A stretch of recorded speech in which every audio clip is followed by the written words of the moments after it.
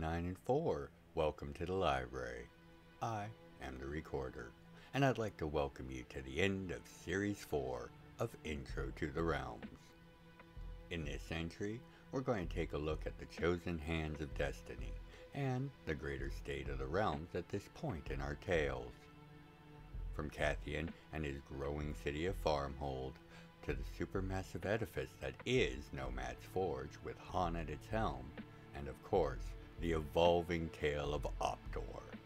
We shall take a look at how matters have grown for each over these last four series, and how they have affected the wider realms as a result. Perceptive patrons, regular visitors, and of course, new guests of the library. I do hope you have been enjoying our exploration of the realms of Jam'mar. Sharing the realms with you has been an honor. And while there are changes coming for the way future entries will be made and shared, understand that I am aiming to make things both better and more easily understood and shared with you. Thus, we shall take a look at things for the future at the end. But before we continue with the topic of today's entry, allow me to ask you to like, share, and ensure you are subscribed to Gryphon's Library. If you wish to further support the realms and the library, consider joining us at gryphonslibrary.locals.com for easy access to entries days before their regular release. Other means of support are detailed in the description of this video as well as the channel's description page. Thank you for your consideration and support of the realms, regardless of the form it takes. Now, let us begin. Starting with the youngest of our heroes, Katheon, and his city-state of Farmhold. Their recovery from the blunt of the metatomic calamity. After the dust had settled and the various Kaisa inspectors had made their reports on the situation, Farmhold was cleared of any accusations pertaining to them being at fault for either the Antani presence or the detonation of the atomic weapons that have turned the former lands of Deep Lock into a now contained hellscape of atomic storms and mutated life. Even with being cleared, however, the staggering amount of military might that has been assembled is a matter of concern for many of Jam'mar's leaders. As perhaps the most modern of city-states on the homeworld, the construction of Farmhold fully made use of all the various innovations and advances achieved in the areas of defense and infrastructure over the last few hundred years. From its series of heated roads and paths, to the multitude of energy gathering and storing devices and towers, Farmhold is a shining example of just how far the realms have come in the last few ages. This, combined with a numerically small yet astonishingly advanced series of forces arrayed for its defense and protection, and Farmhold could reasonably counted among the superpowers of Jam'mar. The fact that it remains stridently a Wild Realm's power, refusing to apply to join the Council of Independent Sovereign Affairs, has made many wary. As a mean to lessen these tensions, Farmhold has been charged by Kaisa with the duties of containing the aftermath of Deep Lock's betrayal. While their core lands are shielded and contain the worst of the problems, these shields serve only to restrict the passage of energies and smaller, non-thinking objects. Therefore, it now falls to Farmhold to ensure that no radioactive beasts pour out of those lands to trouble the lands of Solaris.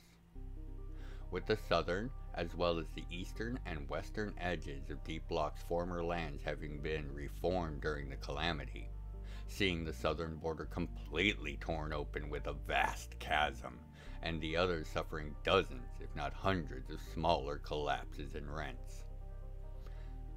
These make travel near impossible in those affected areas, as not only are there now massive pitfalls and rents in the thick woods that make up these borders, the constant downdrafts have had the effect of extending the reach and area of the foglands that Farmhold was founded in by hundreds, if not thousands of square miles to cover the entirety of the former Deep Lock's lands.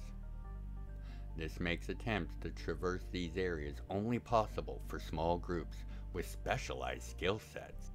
But this forces any threats that might manage to emerge from the depths of the atomic hellscape directly north and to Farmhold. Farmhold has accepted the request of Kaisa to manage the area. And as more and more people make their way to this new city-state, it is clear that they have no intentions of letting any threats from the south endanger the golden time that they seem set upon entering. It will be of great interest to the other powers how Farmhold and its young lord hold up to the stresses of proper statesmanship.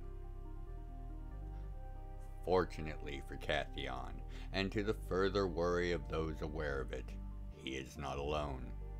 Hawn and his Nomad's Forge are not only the reason that such an immense project as Farmhold was even possible in the short amount of time it took them to build it, but they are also an ongoing partner for the mutual growth of both.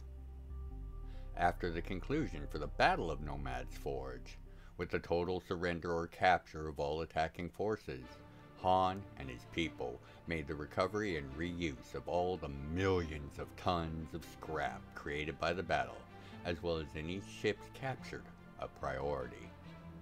This, of course, included the refitting of the rogue Cosmos ship that had led the attempt on the Forge, the Reclaimer. This massive vessel will see most of its weapons and other offensive systems removed, along with all but the minimum of engines. Furthermore, it would be thoroughly reconstructed into a new form as a massive and advanced prison ship over the next few months. Once completed, it will see the various prisoners taken during the siege sentenced to its confines, with terms as little as 20 years for the lowest ranked of the attackers, to several centuries for those of higher rank and authority were handed down to those that had come to Nomad's Forge set on conquest. The ship will be run by a Praetor and Celestian combined grouping, led and overseen by a Dre Psi, to ensure that all are treated well and taken care of properly while serving their sentences. However, except for those that sent forces to assist, as well as those of the highest levels of interrealms politics. The fact that any of this occurred is all but unknown. Most that are aware of the battle are completely in the dark on any of the details, especially how the massive Cosmos vessel was taken itself. Those that do know the details are keeping the existence of a Praetor warship a closely guarded secret along with the large number of stations that the Forge has been building out of the scrap and debris of the battle. These stations are of a previously unknown design, and for a currently unknown purpose, but are clearly intended for inter-system space due to their size. Only those closest to Hawn and Katheon are aware that Optor, and those of his kind that has flocked to his example, are for whom the stations are being built. To serve as a series of stations that will serve and protect the various wild realms and planets that are outside of Kaisa's direct aegis of guardianship. They will also serve as a network for trade and shipping, allowing the wild realms to prosper even without the benefits of access to cog space that being a Kaisa member brings with it. They are also going to form the backbone of the alliance between the three Hands of Destiny, with the station and their praetors serving the needs of the local region of space, the Forge providing the goods and supplies that the stations will sell and trade, and Farmhold being the wellspring of new designs as well as serving as the capital of this new wild block. Optor, for his part, has been moving nearly non-stop from objective to objective, trying to do his part to further not only himself and the realms, but to protect those that have chosen to follow him. The extent of his popularity within his own kind is still a shock to him, and being picked as the leader of this movement of defiant praetors, who seek to make themselves and their services more easily available to those that need it, would be most overwhelming to the young praetor, if it were not for the unending duties he continues to take on himself. As he continues towards his latest mission, rescue operations on a hostile planet, he is slowly coming to terms with his new station, as well as the road ahead for him and his people. As for the rest of the realms, the ancient empire has begun opening itself for trade and travel with those systems closest to its own, while also slowly easing its political positions against intermingling with the rest of the realms. The mutiny amongst their Cosmos fleet, along with their lacking ability to respond with rapidity to the events of the calamity, has seemingly taught the leaders of the Empire the value of cooperation, albeit at a staggering cost. Concerning the calamity and its effects, it is unclear how it was so perfectly arranged, but the effects of hundreds, if not thousands, of simultaneous detonations across the entirety of the realms has massively accelerated the return of those star systems and nebulae that were lost when the home realm vanished from the cluster. Instead of it taking perhaps thousands of years for this to happen, it appears that within a decade, nearly the entirety of the cluster's celestial bodies will be returned to sync with the rest. While this should be a cause for celebration, it has become clear to those with knowledge of Optor and his allies that amongst those systems and peoples returning to sync, there is at least one wholly alien culture to the realms, and one that has a reason to be nothing but antagonistic to the rest. According to what has been uncovered so far, this species, the Kaisanak, have endured the deaths of their gods and the near genocide of their forebears by Analar and Dragon forces in the time before time, and thus are likely not to see the modern realms in any sort of favor apparently capable of extraordinary feats of elemental and celestial manipulation. Those aware of the situation are taking any and all possible steps to prepare for the crisis the Kaisoniak may present. What makes this even more stressful and is a problem that most have either foreseen or postulated, is that also along the Lost Realms must be the bulk of the Antani that had found their way to the cluster in pursuit of the Teltekians ages ago. A minor research planet that was stumbled upon by Optor and ultimately consigned to a fiery end via stellar burial revealed just how much a threat even a single minor Antani world could pose.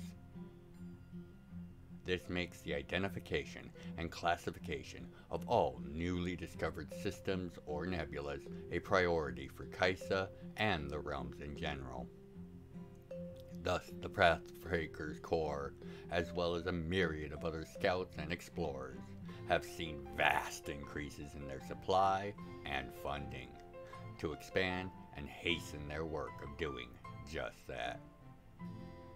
The union of the Expedus and Cosmos fleets have gone some way in helping to prepare for this, along with the necessary expansion of the newly renamed ECDF, or Expedus Cosmos Defense Fleet, to assist with patrols of Kaisa-held regions.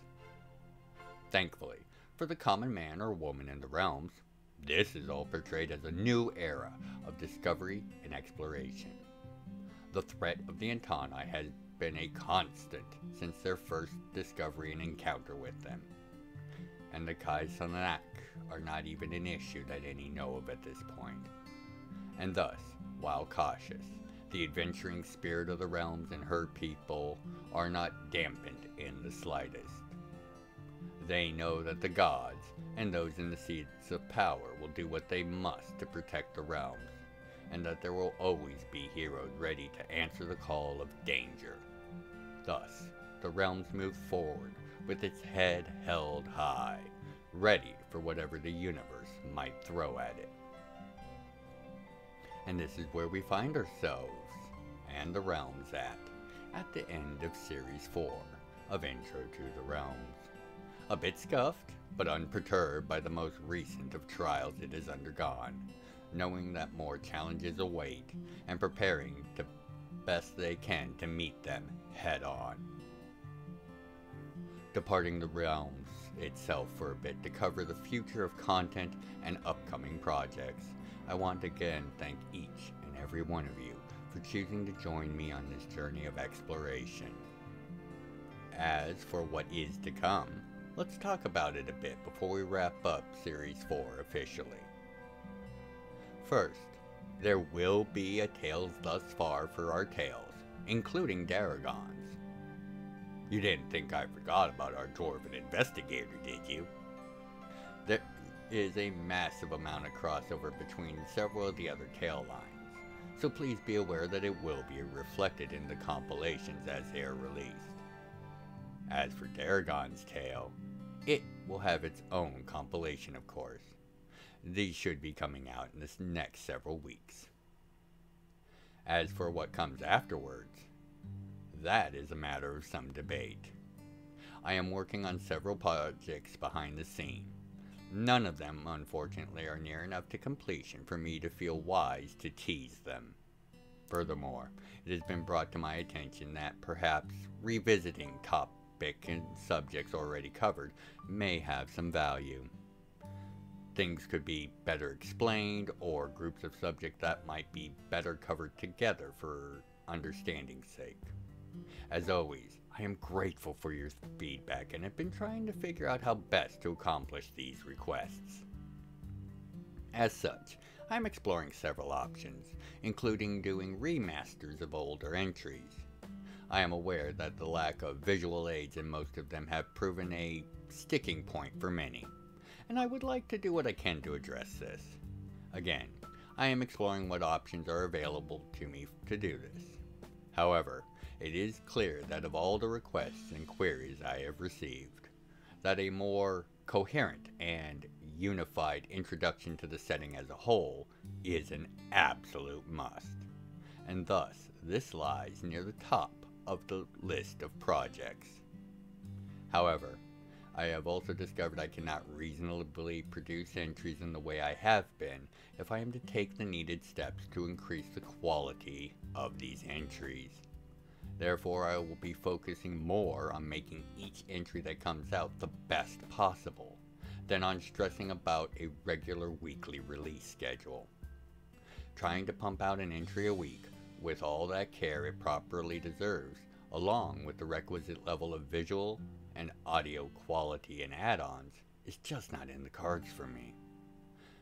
As for things such as the Podcast of the Realms, they too are being reformulated for the future, to both increase their regularity as well as their quality. So I hope you will forgive the reduction in output, and appreciate the increasing quality I hope to provide. As always, you can keep up to date by becoming a free member of my locals community, where I will be making far more regular updates about projects and ideas as they are ongoing. If you wish to support me in my efforts, Locals is the place to do it, as well as to find supporter exclusive content. Either way, gryphonslibrary.locals.com is where the most up to date information will be found and available to both free members and active supporters. I do hope to see you there. With all that said, I want to thank each and every one of you, my perceptive patrons, regular visitors, and new guests of the library, for your time, your interest, and of course, your support of Gryphon's Library and the realms of Jam'mar. It has been an honor thus far, and I look forward to the future.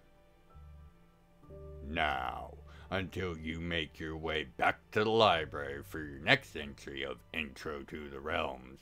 I, as always, have been the recorder.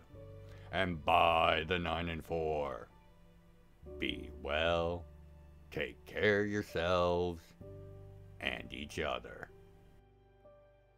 If you'd like to contribute to the further exploration and explanation of the realms, please consider leaving a comment, a like, and sharing the video around. I read all the comments and make efforts to reply to each. Thank you for helping to grow the channel and know I look forward to each and every one of your comments. Other methods of support can be found in the channel's description. Thank you for watching,